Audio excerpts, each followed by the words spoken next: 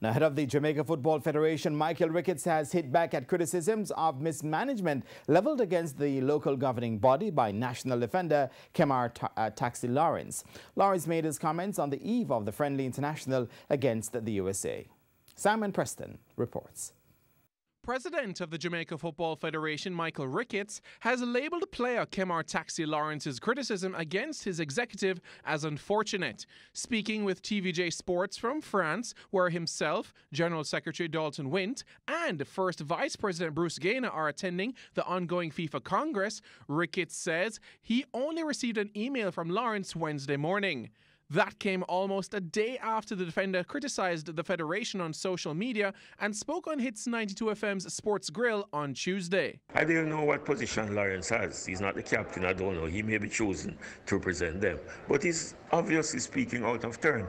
We are in the process of negotiating.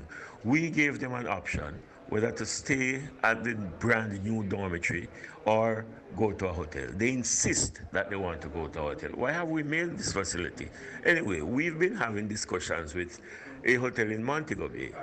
And he never even asked the JFF. He just went and made these pronouncements without even discussing with us. Lawrence also argued that the match fees paid by the JFF are lower than those paid by other Caribbean nations. It's a small circle when you when you come on to football. Though. I remember a guy that plays a Haiti plays a my team. Yes, a yes. Team member plays a my team, maybe a Trinidad player.